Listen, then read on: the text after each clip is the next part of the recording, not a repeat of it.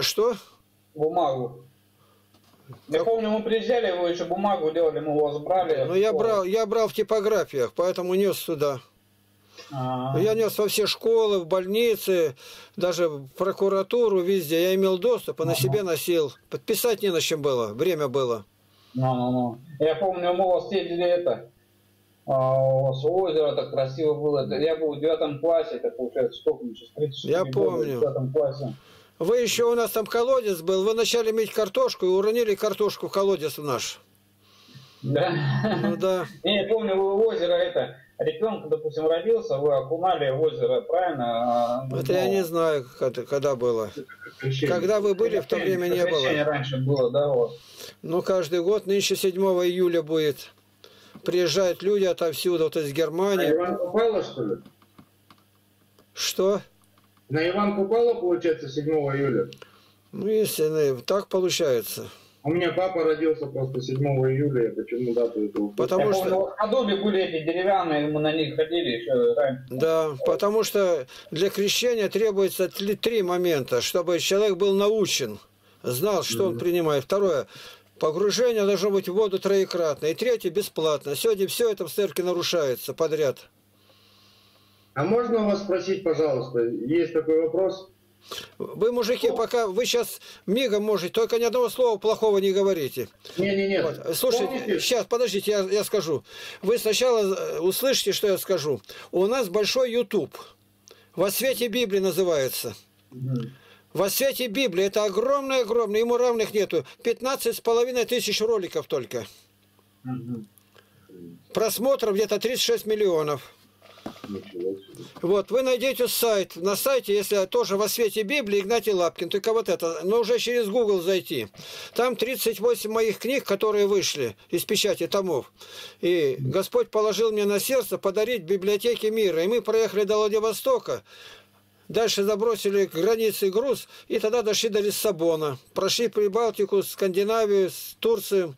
Посетили 650 городов и сел. И подарили книги на 35 миллионов рублей. А Можно сказать, вот такие пацаны, короче, мы вообще нормальные, а, с деревень, короче, под Степано, мы продвинутые в Барнауле, в Алтайском крае. А что бы вы хотели, чтобы мы про вас сказали людям вообще? Я еще могу сказать, на наш сайт пусть заходят, на наш YouTube, там все сказано.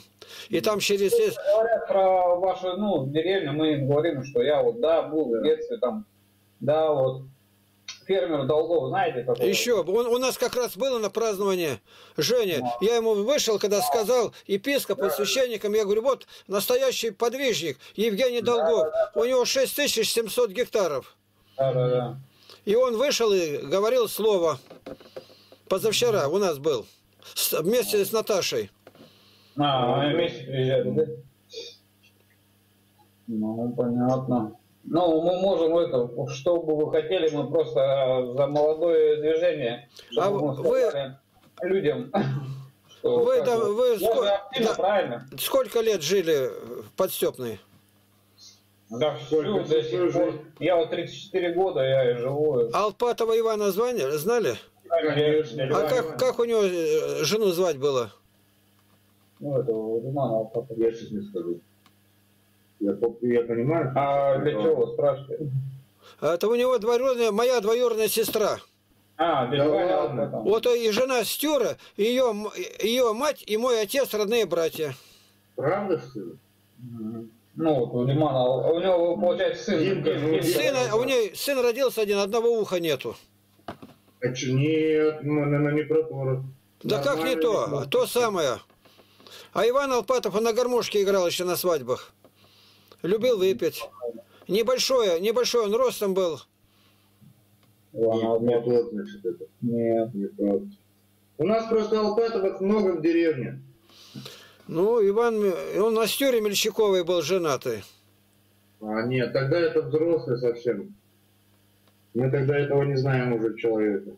Может быть, они, они уже Он умерли. еще живой или нет? Нет, умер. Ну вот. Он пил, пил, и поэтому ему житья-то было У нас обрезано. просто еще есть один Иван Алпатов. Мы про него почему-то подумали. Ну, это может его сын, может его сын. Ну, может и сын. Да, наверное, его, да, да, по-любому. Ну, это парень, это который родился, одного уха нету, его все знают, за- заметно это. А, нет, у нас таких нету, я не знаю. Я только не- точно наш. Что сказать, чтобы заходили на наши ресурсы, и в скайпе можно побеседовать. Мы можем сказать это. Там Ну, все. как живете, можно у вас вопрос такой задать?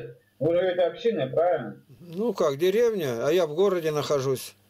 А, вы в городе? Я в городе нахожусь, а уезжаю туда, как Ну, правило. я, я спрошу, я Я, хотел я не, спросить отве- вам я, не, задать. я не, не ответил, вы перебиваете.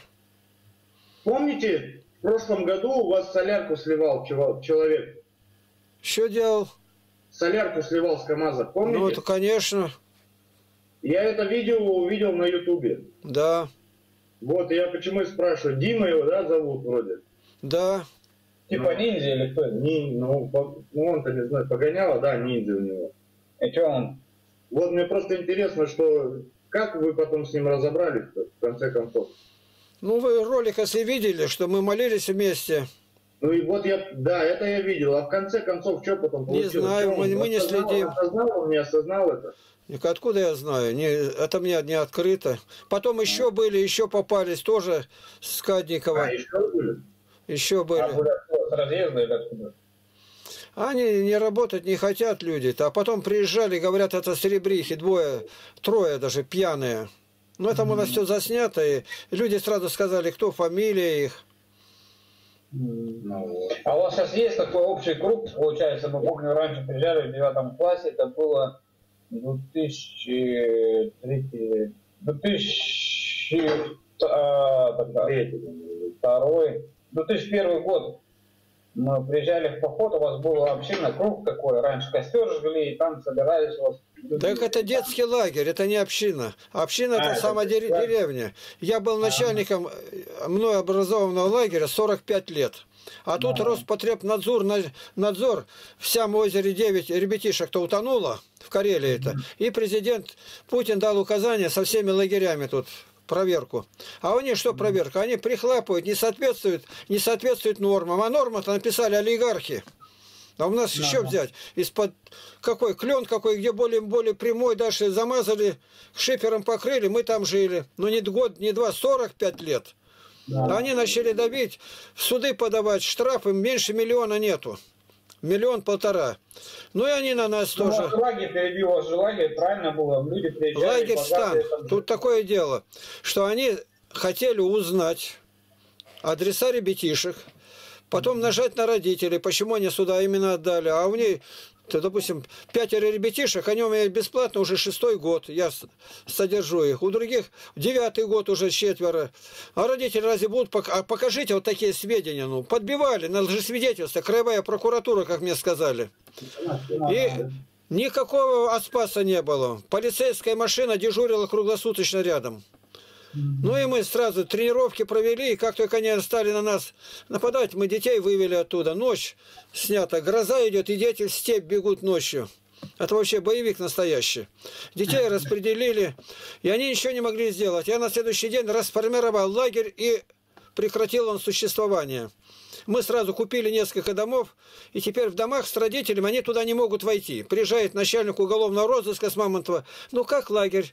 Ну лагерь что там, заросший. Мы из него музей сделали. Называется музей-комплекс для бедных лагерей. Как без помощи государства мы тысячи детей подняли. Тысячи! И ни рубля государство не дал, только гнобили и добили. И осенью приходилось подавать в суд, и все суды я выиграл. До одного суда выиграл.